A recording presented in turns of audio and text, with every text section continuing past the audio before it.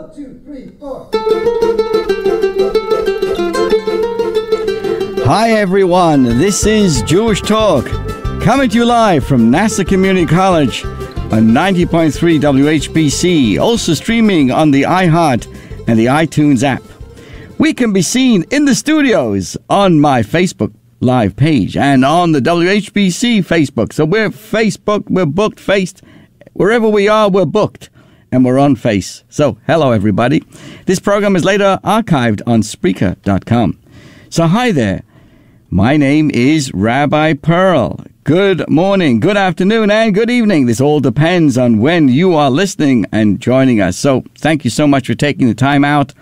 And if uh, you post a uh, an idea or idea that I'm able to see, I'm happy to share that as we go along. So, good morning to everybody listening, all those who are watching, and of course, good morning to Jeffrey Hirsch, who's uh, just stepped in on the Facebook uh, comment page. Thank you. So, our subject matter today is somewhat uh, morbid, at least the beginning part of it. It's to, uh, I would like to highlight this and call this um, Judaism and Death Five Surprising Ideas. On some level of awareness, we all know that uh, a person's days are numbered. So, how do we cope with that recognition? Is perhaps one of the greatest challenges of life. For some, acknowledging mortality is liberating.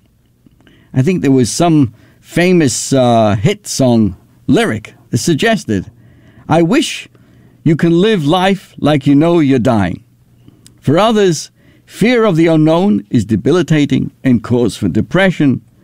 Knowing that death awaits a person negates the hope for the future and destroys the capacity for happiness. In fact, every Sunday at 11 a.m., I have a special class on Zoom that speaks about mindfulness, to be in the moment. If a person lives in the moment in the truest sense, a person lives then in a life of resilience, of happiness, of hope, of uh, depth of life. So I believe that understanding more about death can actually help us live better. Judaism, by way of the profound insights from the Torah as well as from mystical Kabbalistic traditions, grants us some amazing answers to what awaits us at the end of the person's earthly journey. And before I share them with you, I want to say hello to all those who have kindly joined us uh, through Facebook. To Rhoda Sutton, good morning. To Denise Zellickson, to uh, Eitan Kelshevsky, and uh, Gus, good morning to you, to Michael, and all those joining us and listening in all different formats, especially around here WHPC on the world of radio. Guess what? So, here's some five surprising ideas. Five surprising ideas about death, which has been part of Judaism's wisdom for millennia. Number one, death is not the end of our existence. Going back to creation, the Torah describes that Adam was formed from the dust of the earth, as well as a breath of God's Spirit. So we are all a combination of a body and a soul. It is the soul which defines us as being created in the image of God. So there is a part of us that is eternal and outlives our mortal bodies. It's the part that makes us unique and represents our essence. In the book of uh, Ecclesiastes, it sums us up best. In chapter 12, Dr. Kilshevsky, you'll check me out, chapter 12, verse 7, and the dust returns to the earth as it was, and the spirit returns to God who gave it. Now, people have asked me, does Judaism believe in life after death? Just come to any synagogue and listen to the rabbi speak, you'll know there's life after death. But seriously, the answer is a resounding yes. In fact, it is one of the fundamental principles of life.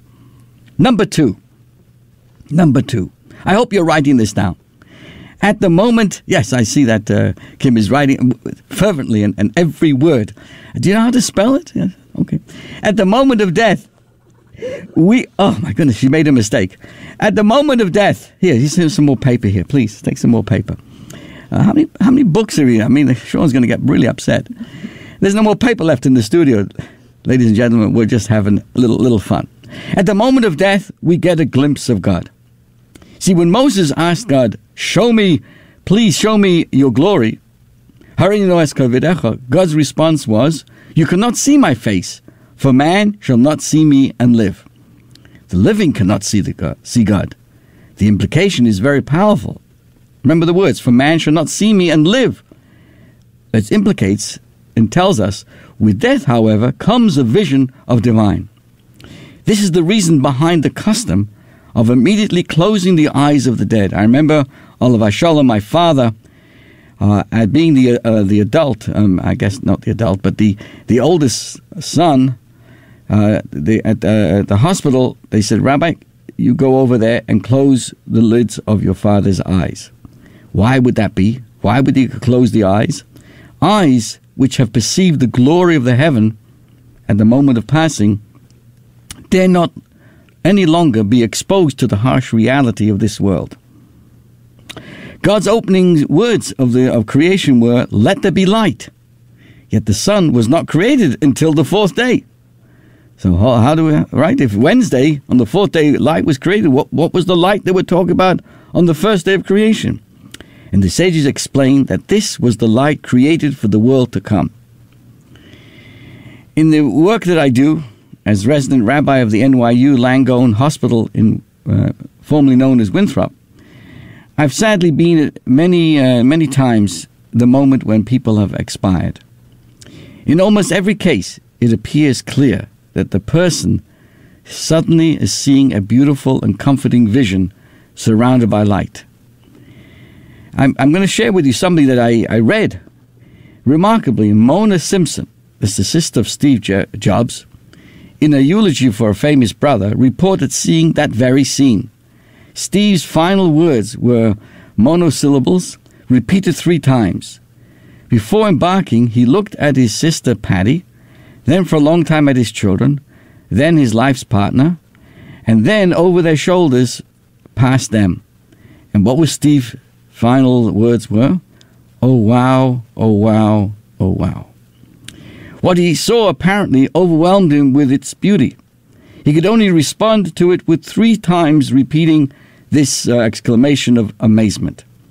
Jewish tradition assures us that we too, when a person at the moment of passing also has this kind of revelation. Number three, number three. Are you writing right now? Very, very carefully there. You know how to spell three? T. Uh, okay. Okay. Uh, the dead know what is happening around them. Jewish sources tell us what happens to us immediately after death.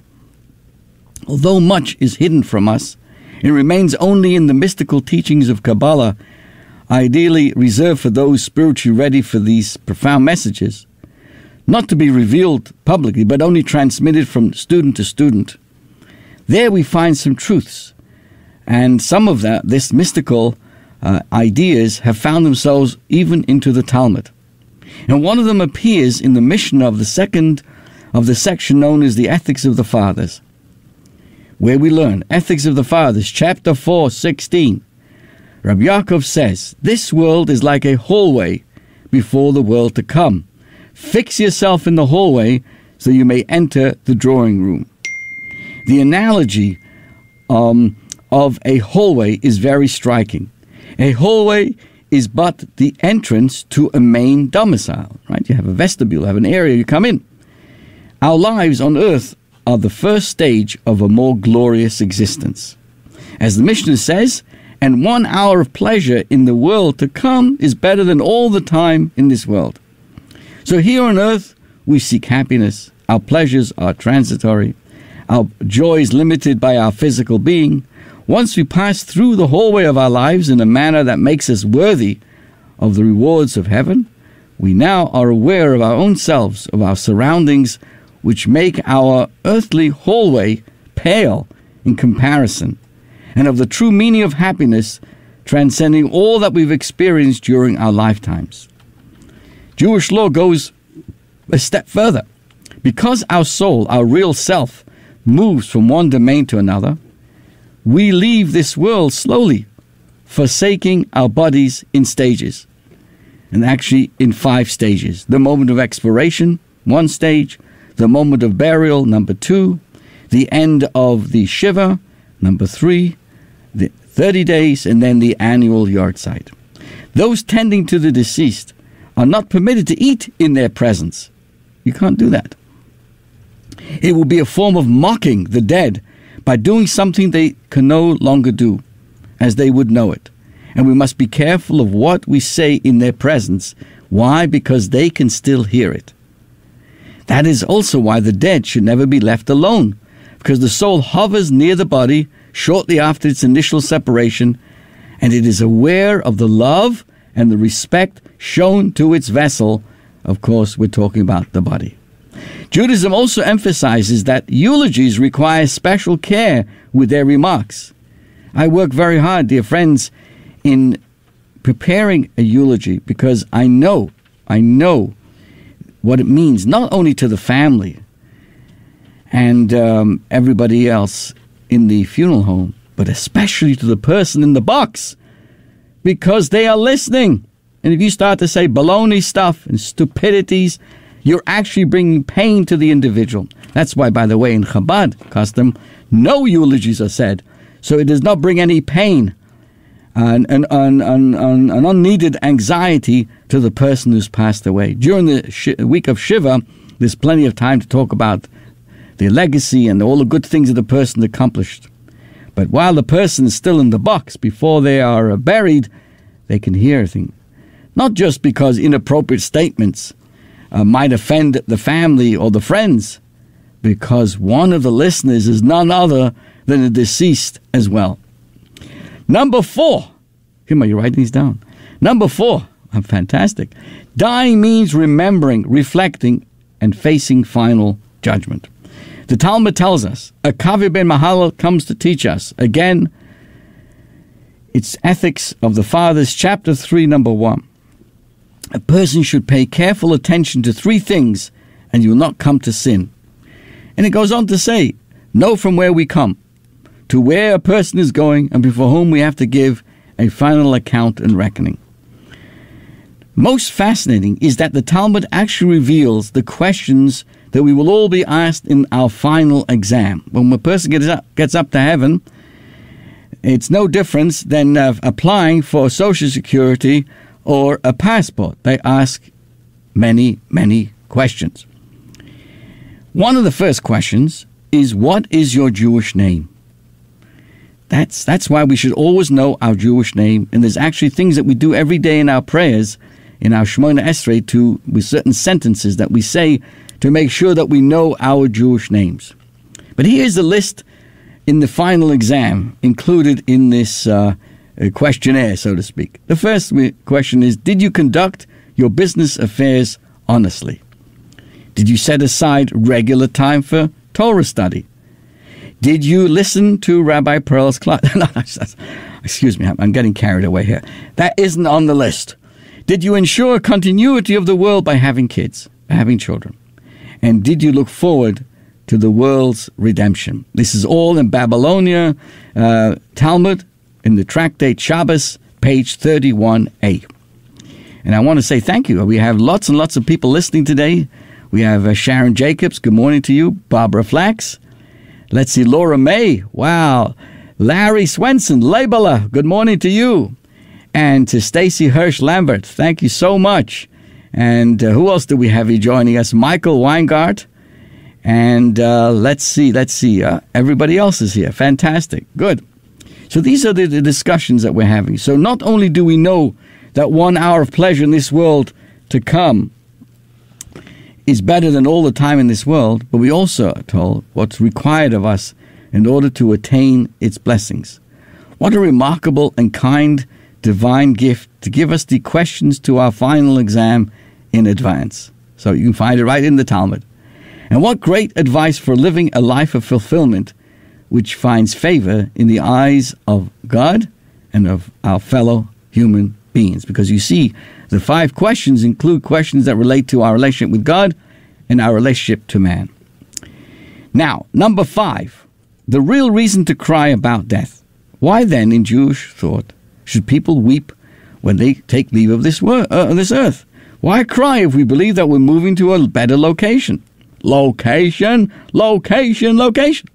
So one of the sages of the Talmud, Rabbi Yehuda, explains to his students on his deathbed, if you want to know why I'm crying, it is only because of the Torah and the, and the deeds that I will no longer be able to perform. So the end of the game is death deprives the person of the ability to continue to serve God and to accomplish acts of kindness. Life presents us with opportunities for personal growth. So death brings to a close our ability to achieve our fullest potential. There's a Hasidic story with a supposedly inside look at what happens upstairs after death metaphorically makes the point very clear. A very rich but miserly man passed away who was standing in line waiting to hear his final judgment. As he watched the procedure with those in line before him, he became far less fearful. He noticed that reported acts of charity had tremendous influence on the divine decree. Gifts given during one's lifetime would outweigh many, many inappropriate things.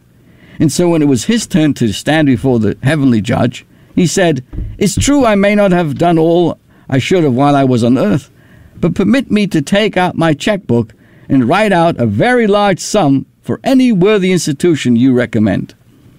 To which the judge replied, Here we do not accept checks PayPal, Zelle. No, joking. We only accept receipts.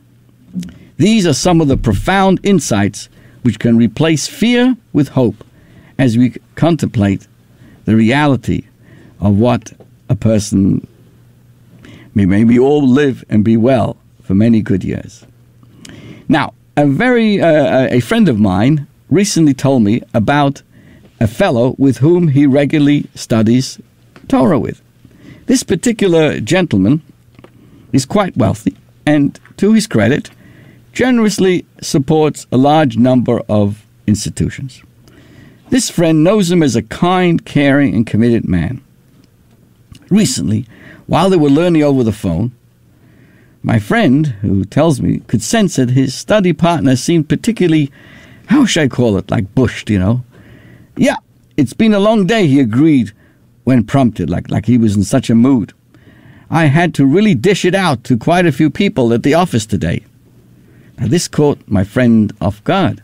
You know me as a kind, gentle guy, he continued, but at work, I'm ruthless.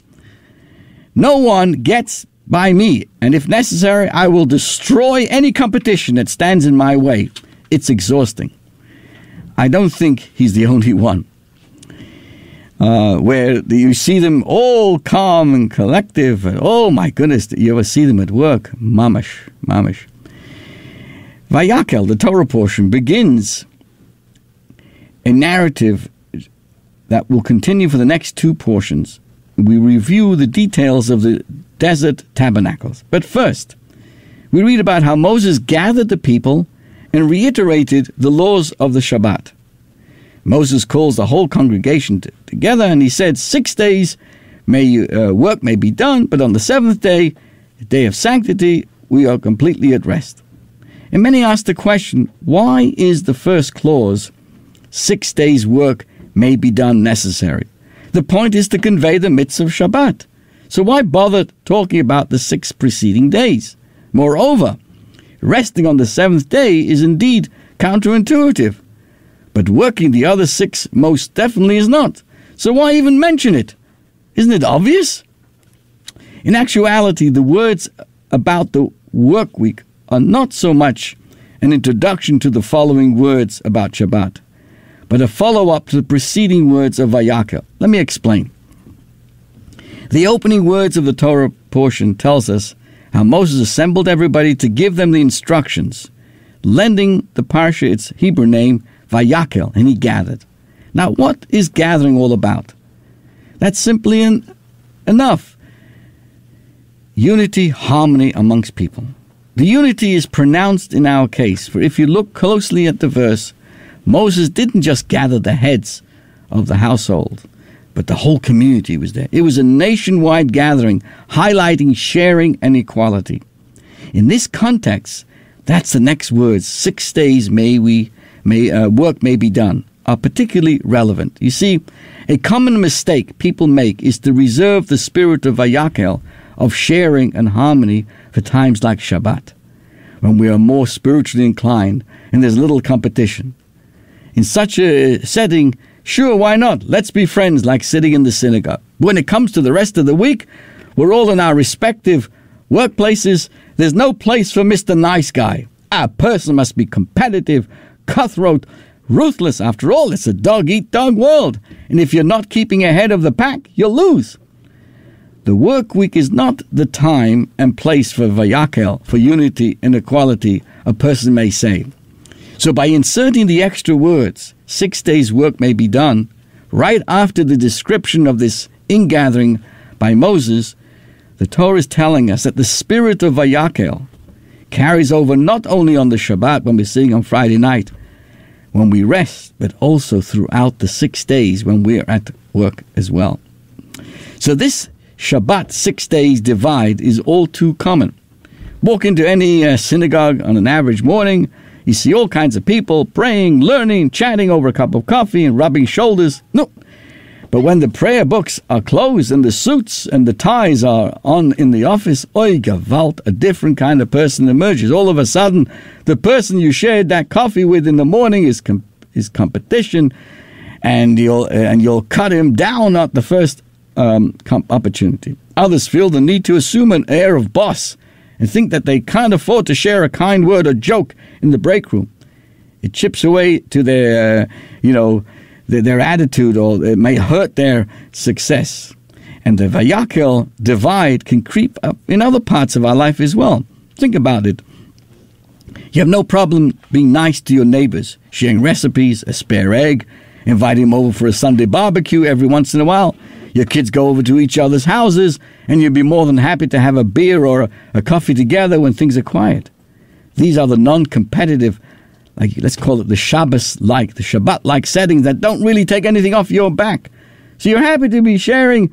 The Vayakel, the gathering comes easy. But when that same neighbor asks you to share a business contact or a number to your babysitter or tries to confer with you on a small matter regarding their tax return, then you're no nice. You're not nice anymore. I can't share my contractor's number with you. What if he gets too much work and isn't available when I need him? If I share my babysitter, they'll put, they'll certainly pay her more, and then I'll be on the hook for a raise. I can't answer this accounting question. It's my business. He should be paying me for such advice. Thoughts like these are undeniably common, but that doesn't make them appropriate. Such thoughts only occur when making the mistake that Vayakel, this gathering of unity, applies only to the Shabbat. So here's a handy reminder. Vayakel applies everywhere, including the six days shall be done. There's so much to talk about. I'll let, let you think about those ideas. Uh, and let's move on quickly. You know, uh, I want to say happy birthday to Sybil Triguboff and to everybody whose, uh, whose birthday is in the Jewish month of Adar. Each month has a zodiac sign. The zodiac sign for the Hebrew month of Adar is fish. It may be surprising that many that Judaism includes references to classical astrology, and the fish symbol has has profound significance in both. I thought it would be appropriate to consider these creatures, what they might teach us. Um, Kim, please pass me over that uh, gefilte fish over there with the uh, horseradish. Thank you so much. Unbelievable. You know, this, this in this studio you get everything you ask for. Main uh, number one is what, what, what, what can we learn from a fish? Most fish cannot swim backwards. Eels may be a rare exception. Memories can, uh, can ground us and help inform our decisions, but our sights should be set firmly on the present with the goal of shaping the future. To paraphrase the great teachings, as long as we're alive, we can still accomplish. Another interesting lesson we can learn from fish everyone moves at their own pace. While sailfish can move at nearly 70 miles an hour, the dwarf seahorse can cover about 5 feet in the same time. The latter's pace is so slow that you can barely detect it's moving at all, but it is. Likewise, even if our pace is slow, it doesn't mean we're not progressing. Pro- progress for one individual can look very different from that of another. We need not always uh, be a sailfish. We just need to make sure that we're swimming in the right direction. Another thing that I learned from fish don't they don't fall asleep on the job. Most fish rest, but they never sleep as humans do. They must remain alert to danger. When we've worked on ourselves and feel that we've reached a level of success, it's easy to let our guard down. But as Hillel the elder said, do not trust yourself until the day of your expiration.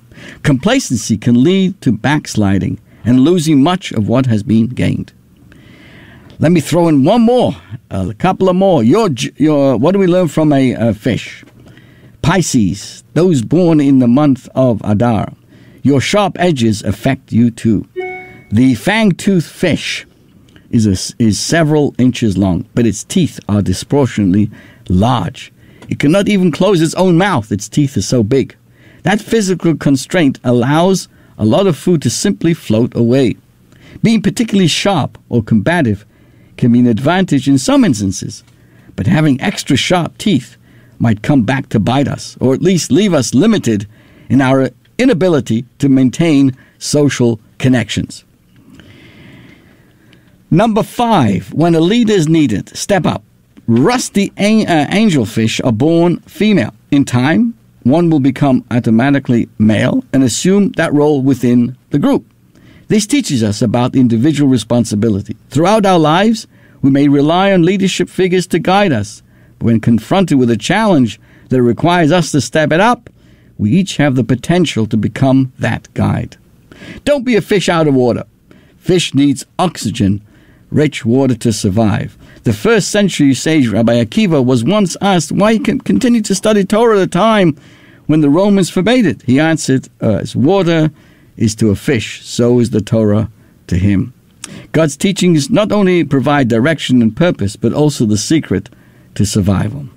So you see, dear friends, there's so much to learn about the fish, and I'm going to let it, let it go right at this point because otherwise it's going to sound too fishy. This is your host, Rabbi Perl. Have a wonderful week. Stay well, enjoy, and sei gesund. Wishing you all the best. Thank you again.